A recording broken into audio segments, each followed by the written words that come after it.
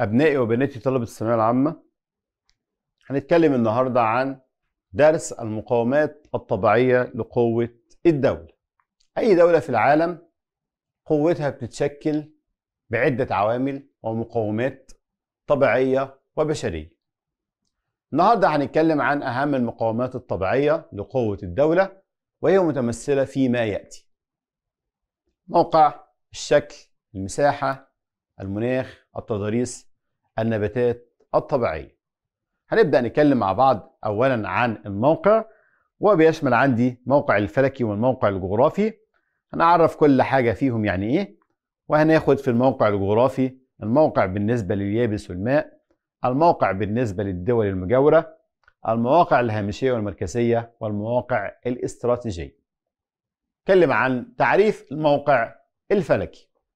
طبعا إحنا درسنا الموقع الفلكي قبل كده وهو موقع المكان بالنسبة لخطوط الطول ودوائر العرض زي ما إحنا شايفين الرسمة اللي قدامنا دلوقتي رسمة الكرة الأرضية ومرسوم فيها خطوط الطول ودوائر العرض الرئيسية.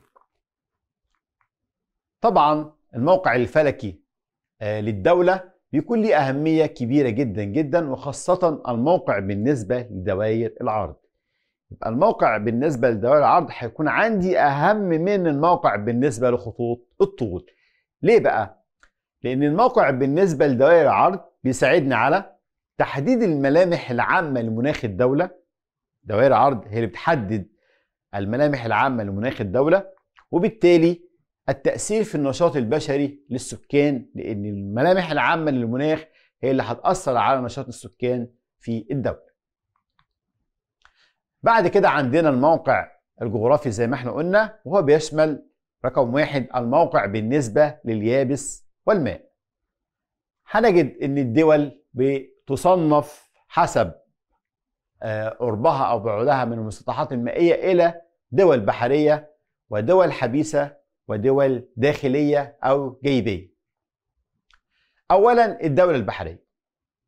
تعريف الدولة البحرية هي الدولة التي تشرف على مسطحات مائية مفتوحة. ولازم ناخد بالنا يا جماعة من التعريف مسطحات مائية مفتوحة. يعني أنا عندي الدولة اللي بتشرف على بحيرة زي بحيرة فيكتوريا أو بحر مغلق زي بحر قزوين ليست دول بحرية. يعني دولة أوغندا التي تشرف على بحيرة فيكتوريا هي ليست دولة بحرية. دولة أفغانستان التي تشرف على بحر قزوين ليست دولة بحرية. لأنها لازم تكون بتشرف على مسطحات مائية مفتوحة. بيقول لي بما تفسر أهمية الموقع البحري للدولة. هو الموقع البحري للدولة مهم في إيه؟ مهم إن هو وسيلة اتصال الدولة بالعالم الخارجي دون عوائق أو دون تحكم دولة أخرى في هذه الدولة. يبقى الأهمية الأولانية إن هو بيخلي الدولة تتصل بالعالم الخارجي دون عوائق. بيزود الاحتكاك الحضاري بين الدولة وغيرها من دول العالم المختلفة. طبعا الدولة اللي بيكون عندها موقع بحري بتتمتع بالثروات البحرية المختلفة زي وجود البترول في مياهها أو الغاز الطبيعي إلى جانب الثروة السمكية. تختلف دول العالم من حيث إشرافها على المسطحات المائية بمعنى أن مش كل دول العالم بتطل على البحار أو المحيطات بشكل متساوي أو متشابه كلها بتختلف من دولة لدولة. فهناخد أمثلة لهذه الاختلافات. أولا هناك دول تشرف على البحر بواجهة بحرية واحدة. من جهة واحدة يعني. زي دولة سوريا اللي بتشرف على البحر المتوسط من جهة واحدة وزي دولة تشيلي اللي بتشرف على المحيط الهادي من جهة واحدة. عندي دول بتشرف على البحر بجهتين من جهتين يعني. زي مصر اللي بتشرف على البحر المتوسط من جهة الشمال والبحر الأحمر من جهة الشرق وزي المملكة العربية السعودية اللي بتشرف على الخليج العربي من جهة الشرق والبحر الأحمر من جهة الغرب.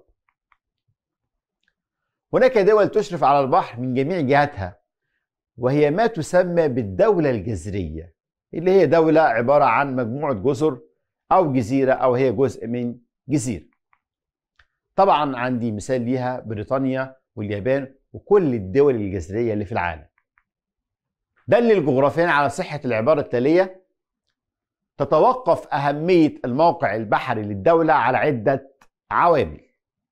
أول حاجة عندي طول السواحل.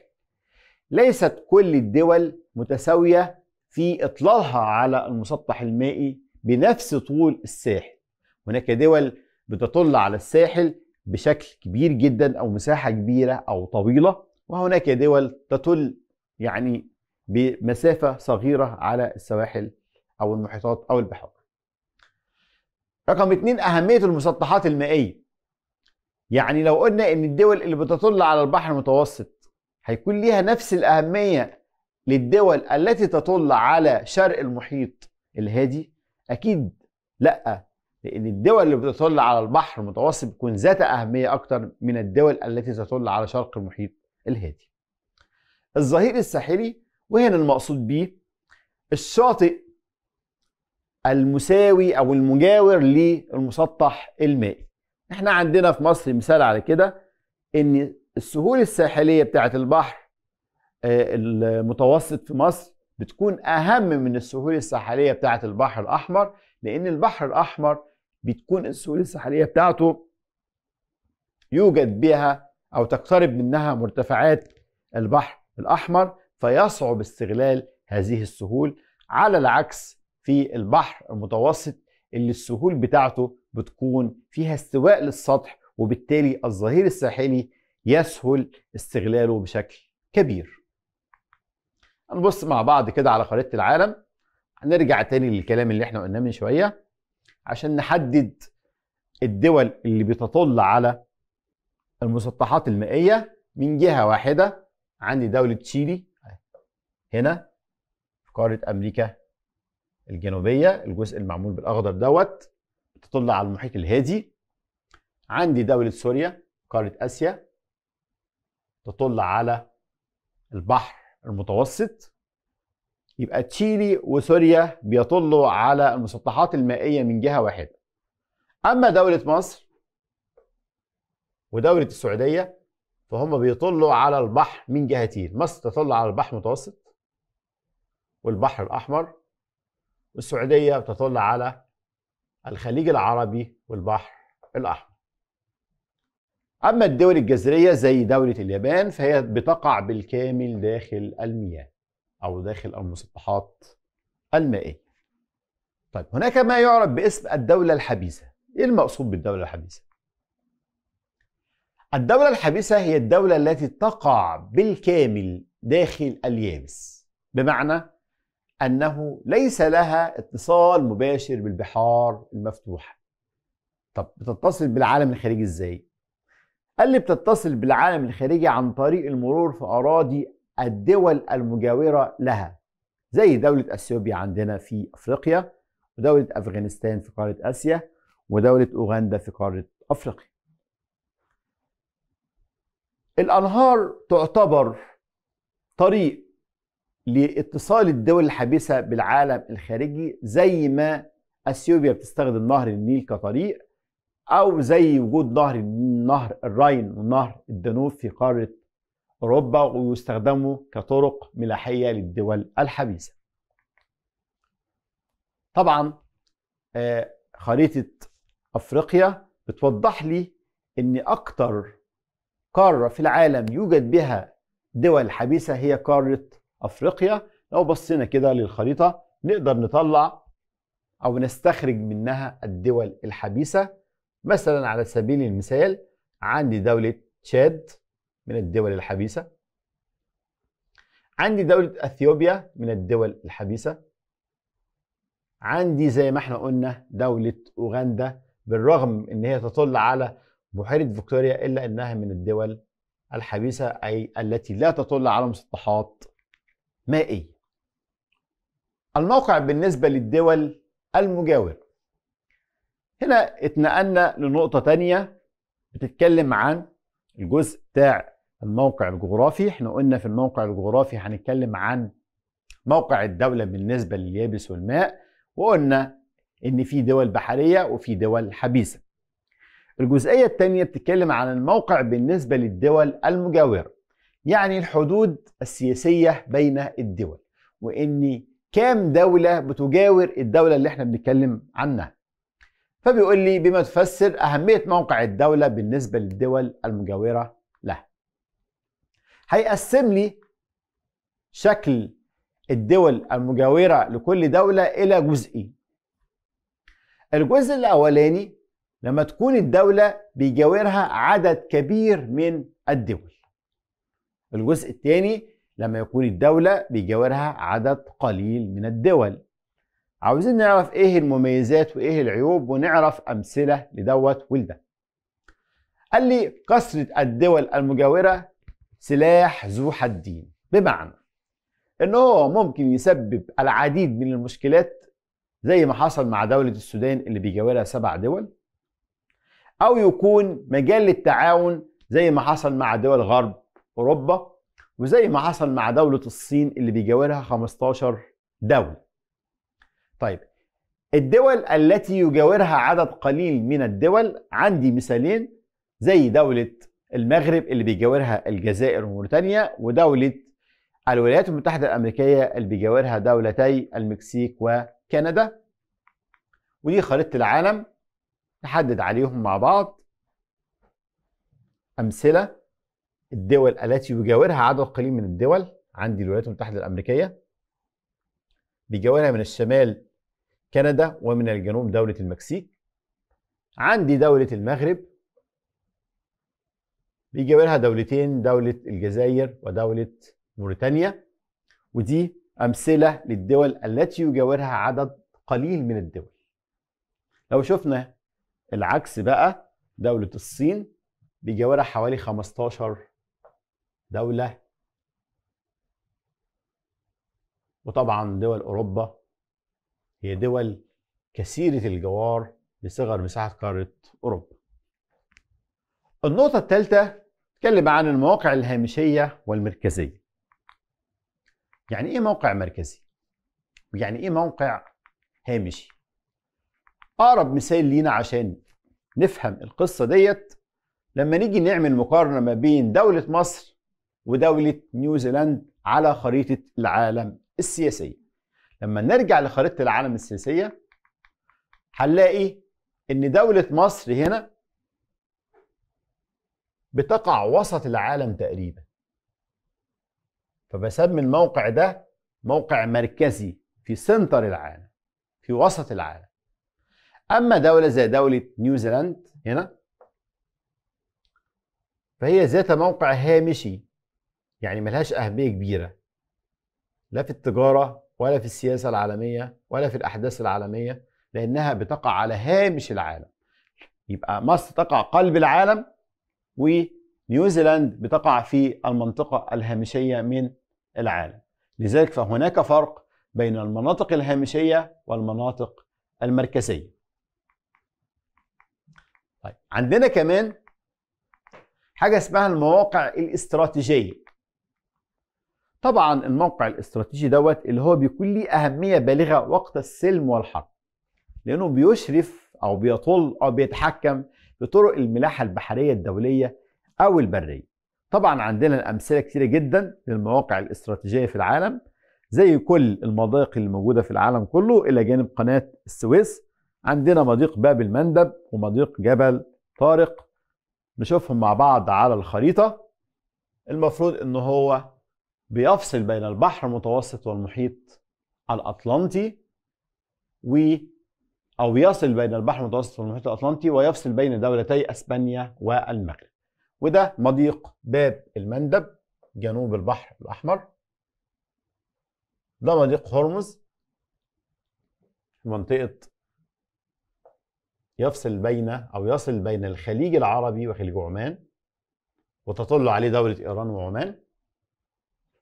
وعندنا طبعا قناة السويس في مصر التي تصل بين البحر الأحمر والبحر المتوسط. دي اسمها مواقع استراتيجية لها أهمية كبيرة وقت السلم والحرب. لتحكمها في الملاحة البرية والبحرية. كده إحنا خلصنا المقومات الطبيعية لقوة الدولة. مساحة الدولة في تعريفها هي رقعة الأرض التي تشغلها الدولة وبتكون محددة بحدود سياسية واضحة ومعترف بها دوليا. ده تعريف مساحة الدولة. طبعا دول العالم لو إحنا بصينا لخريطة العالم هنلاقيها إن هي بتختلف من حيث المساحة. فعندنا أكبر دولة في العالم من حيث المساحة هي دولة روسيا الاتحادية. تبلغ مساحتها حوالي 17 مليون و6 من عشرة كيلو متر مربع. في حين إن أنا عندي دول تانية صغيرة المساحة مثل دولة الفاتيكان اللي بتكون أقل من 1 كيلو متر مربع وهي تقع داخل دولة إيطاليا. يبقى إذا إحنا عندنا اختلاف دول العالم من حيث المساحة. هناك دول كبيرة المساحة زي روسيا وزي الصين وزي الولايات المتحدة الأمريكية وهناك دول أخرى صغيرة المساحة زي دولة الفاتيكان. المساحة بتأثر بالسلب أو بالإيجاب على قوة الدولة. طبعا ما عنديش دولة في العالم عظمى أو دولة كبيرة بتكون صغيرة المساحة. كل الدول الكبيرة أو العظمى في العالم يجب أن تكون دول كبيرة المساحة. المثال على ذلك الاتحاد السوفيتي السابق أو روسيا الحالية روسيا الاتحادية أو الولايات المتحدة الأمريكية أو الصين كلها دول عظمى ذات مساحة كبيرة. طب إيه هي المزايا بتاعت المساحة الكبيرة للدولة؟ أول حاجة إن الدولة اللي بيكون مساحتها كبيرة ده بيزود من احتمالية ما يسمى بالتنوع الجيولوجي أو التركيب الجيولوجي للدولة. بمعنى إن إحنا ممكن نلاقي في موارد معدنية كتيرة جدا زي ما هو الحال في الصين وروسيا والولايات المتحدة الأمريكية. الميزة الثانية أن المساحة الكبيرة بتعطي للدولة ما يسمى بتبني نظرية الدفاع بالعمق. ودي لو إحنا هنتكلم عنها هنضرب عليها مثال في الحرب العالمية الثانية إن الدولة بتتخلى عن جزء من أراضيها للدولة اللي جاية تحتلها أو جاية تحاربها لغاية لما تتمكن هذه الدولة من الدولة المحاربة لها وتستطيع هزيمتها زي ما حصل مع ألمانيا الغربية ودولة ألمانيا لما راحت احتلت جزء من روسيا وسابتها روسيا لغاية لما أنهكت القوات الألمانية حتى استطاعت القوات الروسية تدمير وهزيمة القوات الألمانية وهذا ما يسمى بنظرية الدفاع بالعمق. الميزة الثالثة أن المساحة الكبيرة للدولة لو ما توافرت لها الإمكانيات الاقتصادية إلى جانب إن هي بتضم عدد كبير من السكان من السكان نسبة كبيرة من السكان واستغلوا هذه الموارد. اذا فهذه دولة عظمى. يبقى أنا عندي ثلاث حاجات بيتكونوا مع بعض. يكون عندي مساحة كبيرة يكون عندي موارد اقتصادية ويكون عندي عدد سكان يستغلوا هذه الموارد وبالتالي يصبح عندي قوة عظيمة جدا لهذه الدولة. الميزة الرابعة أنها تتيح للدولة وقت الحرب فرصة إبعاد مصانعها وسكانها عن المناطق المهددة بالعدوان إلى مناطق آمنة. طيب إيه هي عيوب المساحة الكبيرة؟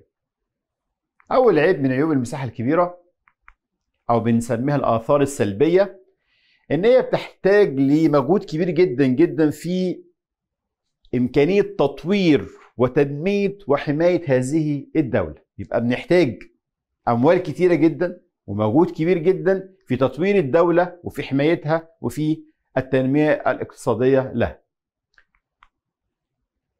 السلبية الثانية إن هو بيصعب السيطرة على أجزاء كبيرة جدا من مساحة الدولة وبالتالي بتعمل لي مشاكل فيما يعرف باسم الحركات الانفصالية. يعني بيظهر هنا عندي بعض المشاكل في ظهور بعض الحركات الانفصالية نتيجة لصعوبة السيطرة على الأجزاء المترامية أو الكبيرة للدولة. طيب يبقى إحنا عندنا الدول إما تكون كبيرة المساحة أو صغيرة المساحة. طيب الدول صغيرة المساحة إيه أثر المساحة الصغيرة على قوة الدولة؟ الأول نشوف المزايا بتاعة المساحة الصغيرة للدولة. أول حاجة أول ميزة إن هي بتجعل الدولة تقوم بضبط إدارة الدولة بسهولة يعني تقدر تسيطر عليها وتضبطها بسهولة. الميزة الثانية هي ميزة إمكانية تطوير كل أجزاء الدولة برضو بسهولة يبقى إمكانية التنمية والتطوير بسهولة.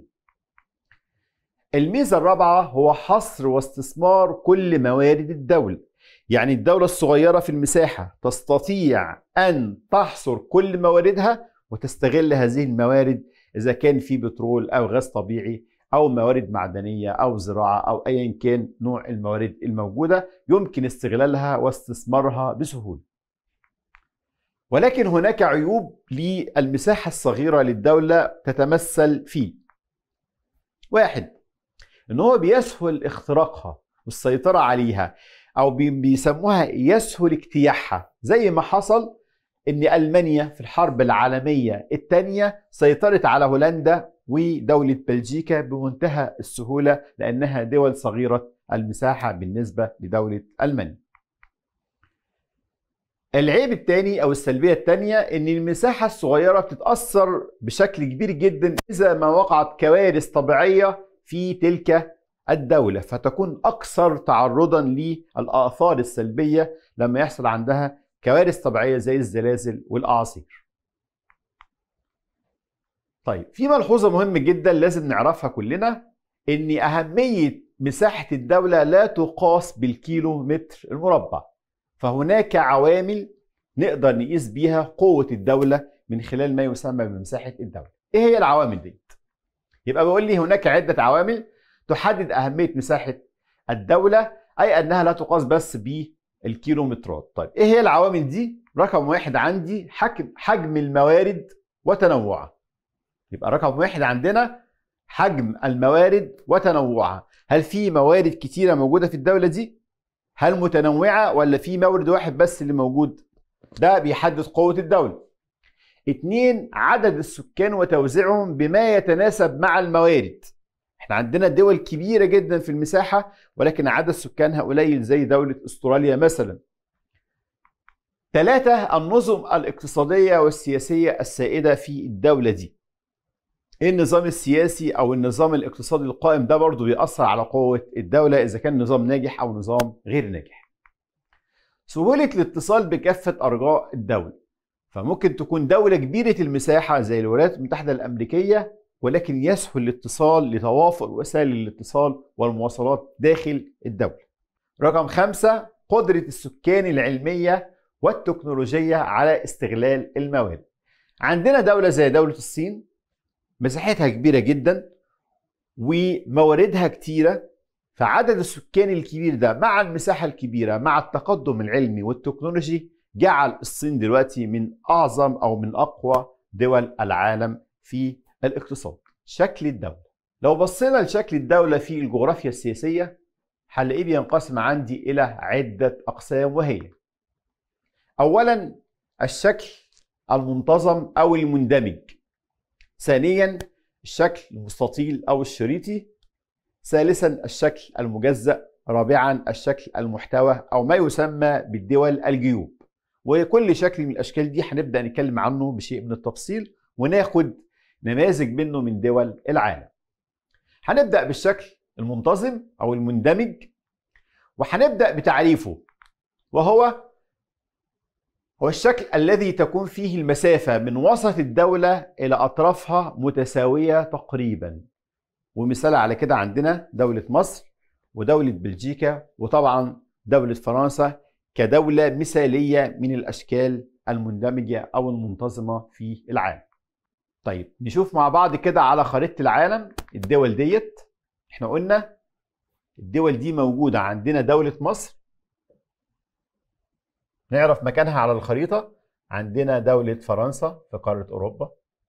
وعندنا أيضا دولة بلجيكا وإن كانت بس حدودها صغيرة جدا في قارة أوروبا. نرجع تاني لمميزات الشكل المندمج أو المنتظم. الشكل المندمج بيبقى ليه عدة مميزات. أولها إن هو بيدي قدرة للحكومة على تحقيق أفضل اتصال وسيطرة على أجزاء الدولة. ليه بيكون كده؟ لأن أطراف الدولة كلها بتكون على أبعاد متساوية من ال center بتاع الدولة أو مركز الدولة. يبقى الميزة الأولى للشكل دوت إن هو بيمكن الحكومة من تحقيق أفضل اتصال وسيطرة على كل أجزاء الدولة والسبب في كده إن ال center بتاع الدولة كل أطراف الدولة بتكون على أبعاد متساوية منه. الميزة الثانية إنه يقلل الشكل يقلل الشكل المنتظم من فرص الاحتكاك والنزاع على الحدود. وليه كده؟ يعني إيه السبب في كده؟ هيقول لي لأن طول الحدود بالنسبة للدولة هيكون قصير بالنسبة إلى مساحتها لأن الحدود دي بتتوزع على كذا دولة فبيكون كل حد مع دولة تانية مسافة الحد دوت صغيرة وكلما قصر أو صغر مساحة الحد السياسي كلما قل فرص الاحتكاك والنزاع مع الدول المجاورة له. الميزة الثالثه إن هو بيديني حسن الإدارة الداخلية للدولة منتظمة المساحة. يعني بيحسن السيطرة على الإدارة الداخلية للدولة. الرابعة أو الميزة الرابعة توفر المساحة المنتظمة لجيشها الحرية المكانية للحركة. بنقول كده بتوفر المساحة ديت حرية الجيوش للحركة أو الحرية المكانية لحركة الجيوش بحيث إن الجيش بيقدر يتحرك في أي جزء من أجزاء الدولة بشكل سهل وبسيط. كده إحنا خدنا أمثلة للأشكال المندمجة أو للدول المندمجة ولكن عندنا أمثلة بسيطة كده. أنا عندي دول بتاخد شكل مندمج ولكنها ذات بروز. الدولة دي بتكون كل أجزائها مندمجة ولكن جزء منها بس بيخرج أو بيبرز خارج الدولة يعني بياخد شكل اسمه شكل مندمج ذات بروز. عندنا مثالين للدول دي. دولة الكونغو الديمقراطية في قارة أفريقيا ودولة أفغانستان في قارة آسيا زي ما إحنا شايفين دلوقتي الخريطة بتاعتها. هي كده ده الشكل المندمج بتاعي أهو اللي داخل المربع دوت وده جزء من الدولة فبسميها مندمجة ذات بروز. بعد كده عندنا ما يسمى بالشكل المستطيل أو الشكل الشريطي. لو إحنا بصينا كده للخريطة اللي قدامنا دي هلاقي عندي في دولة اسمها دولة تشيلي في قارة أمريكا الجنوبية. بتحمل أو بيكون شكلها هو الشكل المستطيلي أو الشريطي. طب تعالوا نعرف مع بعض يعني إيه الشكل المستطيل أو الشكل الشريطي. هيقول لي هو بيطلق على الدولة إذا بلغ طول طول الدولة ست أمثال عرضها. يعني لو طول الدولة بيكون ست أمثال العرض بيكون في الحالة ديت هو ما يسمى بالشكل الشريطي أو الشكل المستطيل للدولة زي ما إحنا شايفين في دولة تشيلي. طيب هل كل دول العالم بتكون أو الدولة كل دول العالم الشريطية بتكون بنفس الشكل ده؟ قال لي إحنا عندنا أنواع. في مستطيل طولي بيمتد من الشمال إلى الجنوب زي دولة تشيلي زي دولة الأرجنتين. أدي دولة تشيلي اهيت وجنبها دولة الأرجنتين. وعندنا كمان في دول تانية زي دولة إيطاليا لما هناخد الخريطة بتاعتها هي برضو بتمتد بشكل طولي من الشمال إلى الجنوب.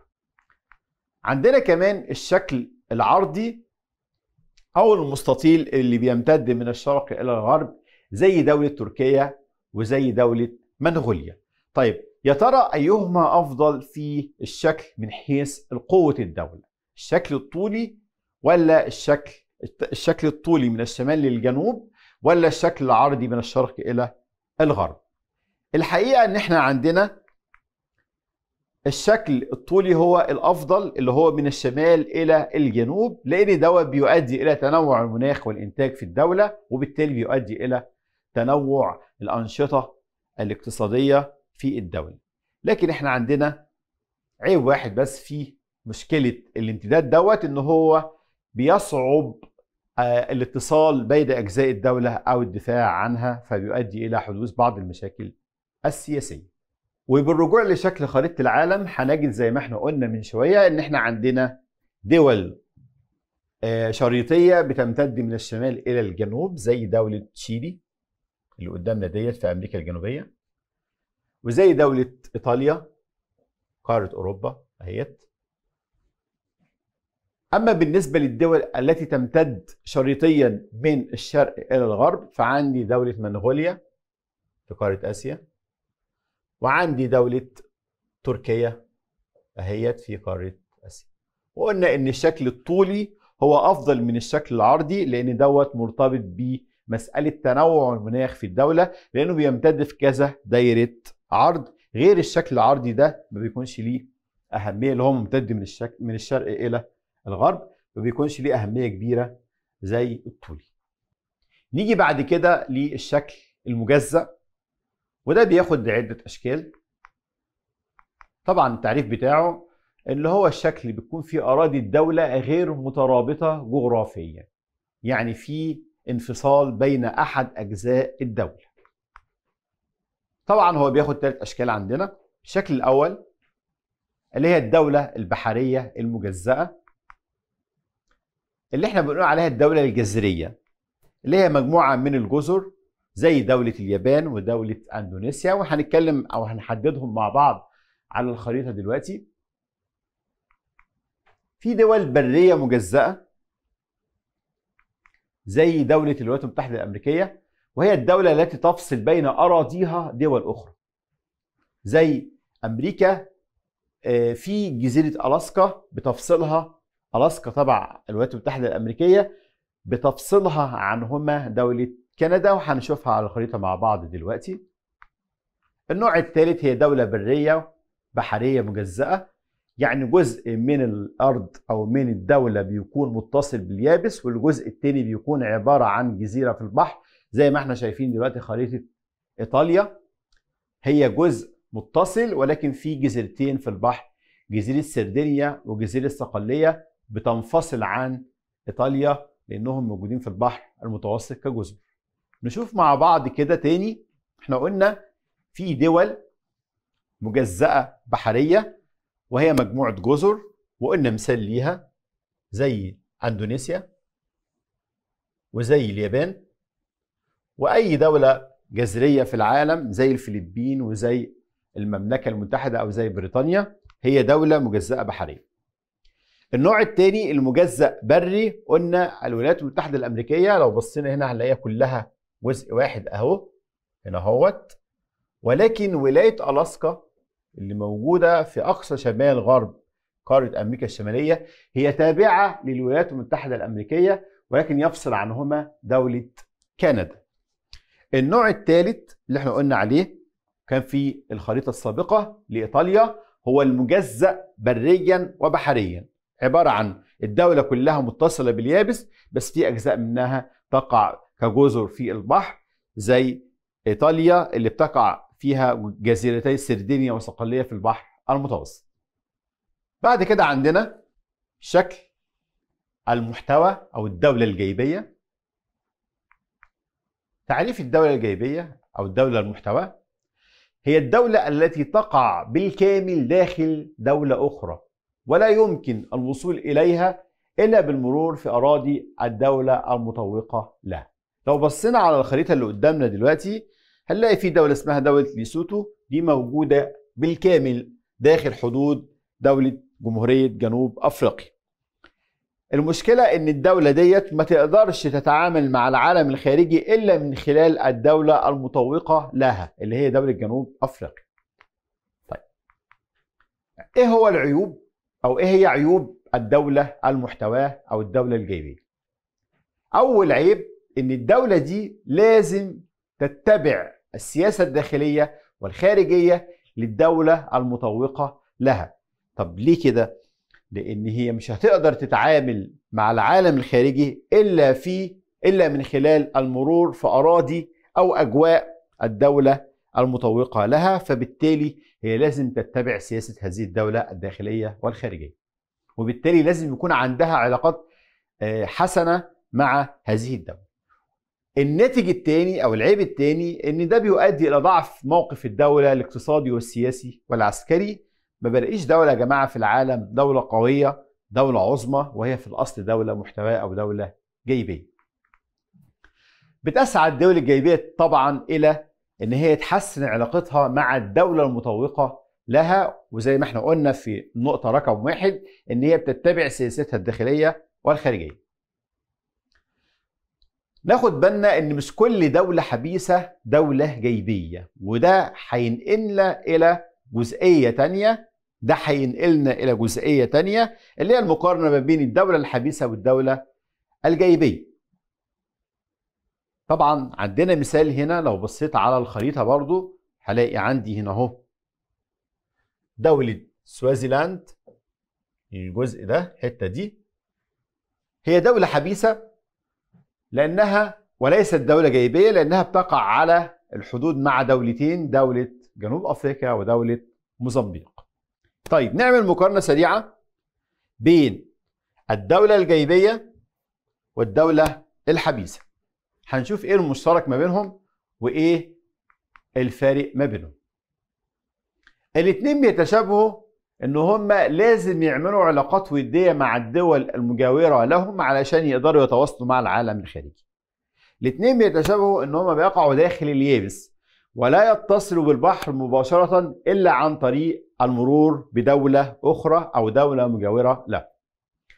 أما الدولة المحتواه فهي بتخضع في علاقاتها الداخلية والخارجية للدولة المحتوى لها أو المطوقة لها في حين إن الدولة الحبيسة لا تخضع في علاقتها لهذه الدولة لأن هي بيبقى على حدود مع كذا دولة مش دولة واحدة الدولة المحتواه تحيط بها دولة واحدة فقط من جميع جهاتها زي دولة ليسوتو اللي بتطوقها دولة جنوب أفريقيا. أما الدولة الحبيسة فهي يحيط بها عدة دول زي دولة أفغانستان تضاريس الدولة. المفروض إن إحنا نكون عارفين معنى كلمة التضاريس. إحنا درسنا قبل كده إن التضاريس دي المقصود بيها هي المرتفعات والمنخفضات والسهول. وإحنا تحديدا النهارده هنتكلم في تضاريس الدولة في المرتفعات والسهول وكيف تؤثر على قوة الدول.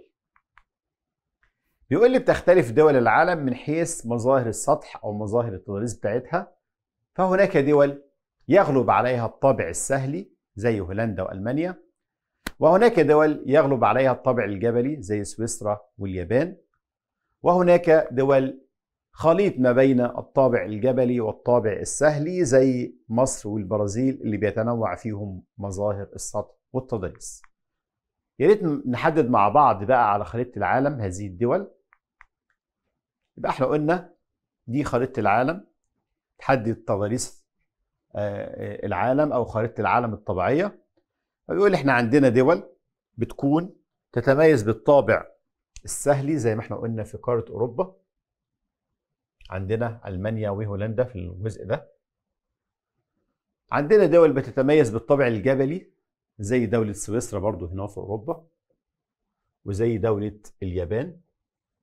وعندنا دول بيتنوع فيها مظاهر السطح يعني فيها الطابع السهلي وفيها الطابع الجبلي زي دولة مصر وزي دولة البرازيل في أمريكا الجنوبية. طبعا آه الأهمية هنا هتكون عندنا بالنسبة للسهول. والسهولة عندي بتنقسم إلى ثلاث أقسام أو أربع أقسام. بس إحنا عندنا في المنهج هم ثلاث أقسام. القسم الأول بيتكلم عن السهول الفيضية. القسم الثاني أو النوع الثاني هي السهول الساحلية والنوع الثالث هي السهول الصحراوية. يبقى إحنا عندنا أنواع السهول في العالم بتنقسم ما بين سهول فيضية بتكونها الأنهار وسهول ساحلية بتكونها البحار والسهول الصحراوية اللي موجودة عندنا في الصحاري في العالم. أكثر مظاهر السطح تأثيرا في الكيان السياسي للدولة هي الأنهار وبالتالي هنتكلم عن السهول الفيضية بشكل كبير جدا لأن هي بتمثل أهمية كبيرة لقوة الدولة السياسية. بيقول لي كلما زادت مساحة السهول في الدولة كلما كان له آثار إيجابية على قوة الدولة طيب نشوف مع بعض كده الآثار ديت طبعا إحنا هنتكلم دلوقتي عن الآثار الإيجابية والآثار السلبية للسهول وتأثيرها على قوة الدولة. أول حاجة هنتكلم عن الإيجابيات. وجود الآثار واتساعها في الدولة بيؤدي إلى تنوع الإنتاج الزراعي ووفرة الناتج الزراعي والمحاصيل. اتنين تطور العمران والأنشطة الصناعية والتجارية. نظرا لسهولة النقل والمواصلات وإنشاء ما يسمى بالبنية التحتية. فيسهل عندي في الدول اللي بيكون عندها سهول إن إحنا نعمل نهضة عمرانية أو نعمل طرق أو نعمل مصانع وتكون حركة التجارة بين الدولة بمنتهى السهولة. نظرا لاستواء السطح وسهولة عمل طرق للنقل والمواصلات.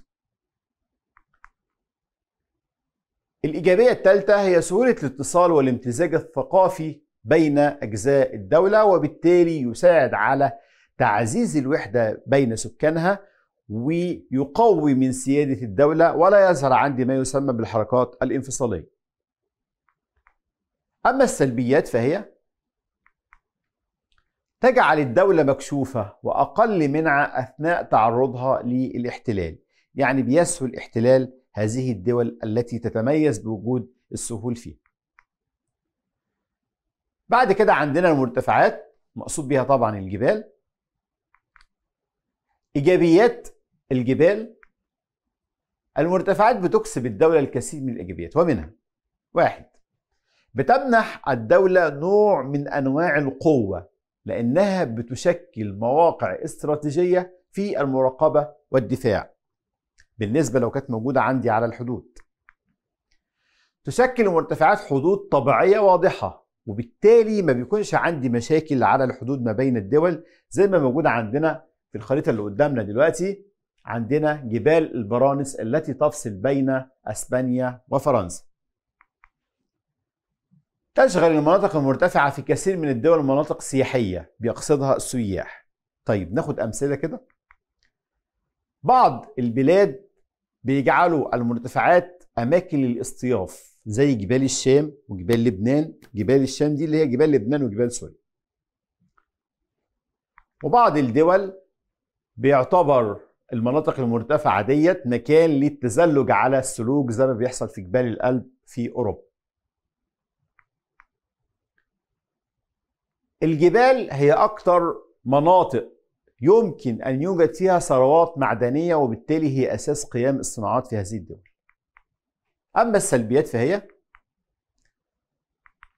واحد صعوبة الاتصال بين أجزاء الدولة.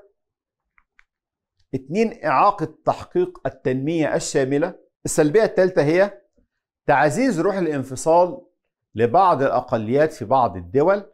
عندنا إقليم كاتالونيا في أسبانيا نظرا لوجود جبال بتفصله عن أسبانيا دعا دائما أو يدعو دائما إلى الانفصال عن أسبانيا ويطالب دائما بالحكم الذاتي لنفسه مناخ الدولة. طبعا لو سألنا إيه المقصود بالمناخ كلنا هنفتكر مع بعض كده إن هو بيوصف حاله الجو لفترة زمنية طويلة. وبالتالي حالة الجو دي بيبقى ليها أهمية كبيرة جدا في تحديد النشاط الاقتصادي للدولة من حيث نوع النبات الطبيعي الموجود ونوع التربة اللي موجودة والأنشطة البشرية المرتبطة بالكلام دوت وتنوع المناخ أو تنوع الإنتاج الزراعي للدولة وبالتالي نقدر نقول إن المناخ بيأثر بشكل مباشر أو غير مباشر في تحديد أهمية الدولة ووزنها السياسي. طيب إحنا عندنا المناخ بيكون أنواع بمعنى إن هو ممكن يكون مناخ معتدل أو مناخ غير معتدل. طيب لو اعتبرنا إن إحنا عندنا المناخ المعتدل بيسود في دولة ما من الدول هنلاقي إن الدولة ديت بيزيد هذا المناخ المعتدل من فعالية الأنشطة البشرية لها في مختلف المجالات وبيساعد على قوة الدولة كما هو الحال في معظم دول حوض البحر المتوسط أما إذا كان المناخ بارد أو حار أو غير معتدل إحنا بنسميه المناخ المتطرف. يعني يكون شديد البرودة أو شديد الحرارة أو حتى شديد الجفاف. في الحالة دي إحنا بنقول عليه مناخ غير معتدل. ده بيحد يعني بيقلل من فعالية الأنشطة البشرية فتصبح هناك مناطق خالية أو قليلة من السكان زي المناطق مثلا الشمالية عندنا في قارة أمريكا الشمالية شمال كندا أو شمال روسيا نظرا لوجود البرد الشديد أو المناطق الصحراوية زي ما هنعرف دلوقتي في الصحراء الكبرى في أفريقيا مثلا فبتكون مناطق قليلة السكان. اداني أمثلة أهوت قلنا شمال روسيا وشمال كندا بفعل البرودة. مناطق الصحراء الحارة في معظم شمال أفريقيا اللي هي منطقة الصحراء الكبرى بسبب الحرارة والجفاف. رقم ثلاثة المناخ المتنوع. وعايزين نعرف إيه هي أهمية التنوع في المناخ. المناخ المتنوع بيؤدي إلى اقتراب الدولة من ما يسمى بتحقيق الاكتفاء الذاتي. ليه بقى؟ لأن التنوع المناخي بيؤدي إلى تنوع المحاصيل الزراعية في الدولة وبالتالي بيؤدي إلى عدم احتياج الدولة إلى محاصيل زراعية من دول العالم المختلفة مما يحقق ما يسمى بالاكتفاء الذاتي.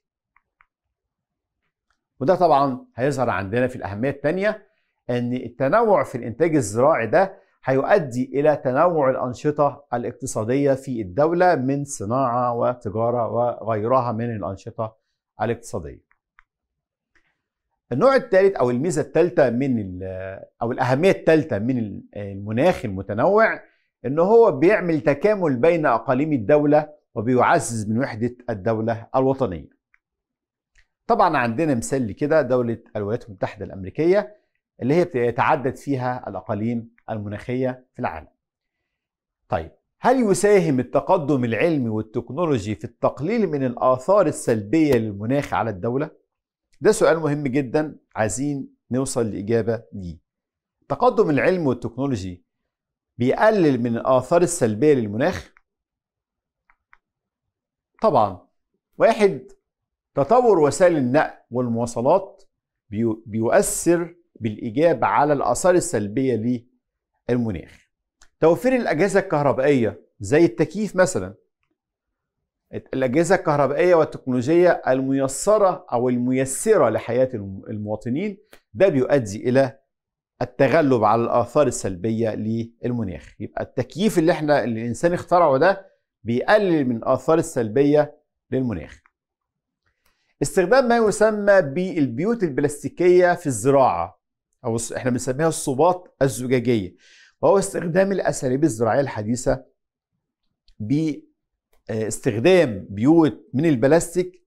البيوت ديت أنا بغطيها أو أماكن بغطيها بالبلاستيك وبقدر أزرع أي محصول أنا محتاجه من خلال تكييف أجواء هذه البيوت حسب ما أنا عاوز. نبص مع بعض بقى كده على خريطة العالم علشان نحدد زي ما إحنا قلنا الدول اللي بيكون فيها تطرف في المناخ وعدم اعتدال. قلنا إحنا عندنا شمال روسيا الجزء ده طبعا بيتميز بالبرودة الشديدة كذلك الحال شمال كندا يتميز بالبرودة الشديدة وده مناخ بيكون مناخ متطرف أو عدم في عدم اعتدال. كذلك الحال في شمال أفريقيا هنا في الصحراء الكبرى منطقة الصحراء الكبرى دي برضو فيها مناخ متطرف. أما منطقة المناخ المعتدل فهي تشمل منطقة حوض البحر المتوسط اللي هي دول جنوب أوروبا وأجزاء أو الأطراف الشمالية من شمال أفريقيا. أما الدولة اللي فيها التنوع المناخي وتنوع الأقاليم المناخية زي ما إحنا قلنا هي الولايات المتحدة الأمريكية تتميز بتنوع الأقاليم المناخية فيها النبات الطبيعي. لو سألنا إيه هو النبات الطبيعي؟ هنسمع إجابة بتقول أنه النبات الذي ينمو تلقائيا دون تدخل من الإنسان. طيب هو بينمو تلقائيا بناء على إيه؟ بناء على كمية الأمطار اللي بتنزل بيتحدد حجم النبات الطبيعي وعلى حسب درجة الحرارة ونوع التربة اللي موجودة. النبات الطبيعي اللي عندنا بينقسم إلى غابات وحشائش، الشكل اللي إحنا شايفينه دوت يمثل مجموعة من الأشجار فدي إحنا بنسميها غابات. طيب إيه هو تأثير النبات الطبيعي على قوة الدولة؟ نبدأ الأول نتكلم عن وجود الغابات في الدولة هل هيأثر على قوتها ولا لأ؟ أهمية الغابات كمورد وعنصر من المقاومات الطبيعية لقوة الدولة. طبعا الغابات مورد مهم جدا من الموارد الطبيعية لقوة الدولة وذلك بسبب يبقى إحنا هنتكلم دلوقتي عن فوائد الغابات. واحد ان إحنا بناخد من الغابات دي الأخشاب اللازمة لبناء وصناعة السفن والآثاث. اتنين إن في أشجار اسمها أشجار المطاط. بناخد مادة المطاط من الأشجار دي وهي مادة تدخل في صناعة إطارات العجل يعني بتاع الطائرات والسيارات. ثلاثة يعتبر الغابات أحد مصادر الدخل القومي لبعض الدول. أربعة يمكن اللجوء إلى الغابات كنوع من أنواع الاحتماء أثناء الحرب فيكون لها فوائد حربية. وبكده يبقى إحنا اتكلمنا عن أربع حاجات هي حاجات أو أهمية الغابات كمصدر من مصادر قوة الدولة السياسية. طبعا الصورة اللي قدامنا دي تشكل مراعي طبيعية. إحنا قلنا إن النبات الطبيعي عندي بينقسم إلى غابات وحشائش. هنتكلم دلوقتي عن الحشائش. الحشائش ليها دور كبير جدا في قوة الدولة. أهم مناطق الرعي في العالم دي ده بالنسبة للحشائش بتمثل أهم مناطق للرعي في العالم. تساعد وفرة الحشائش على نمو اقتصاد بعض الدول لأن هي بتعد أو بتمثل مراعي طبيعية للثروة الحيوانية وبالتالي بتوفر لي اللحوم والألبان والصوف والجلود. عندنا دول كتيرة جدا اعتمدت في اقتصادها على الثروة الحيوانية ومنها دولة أستراليا ودولة الأرجنتين. وبكده نكون خلصنا درس المقاومات الطبيعية لقوة الدولة. إن شاء الله نلتقي في دروس أخرى. من مادة الجغرافيا السياسية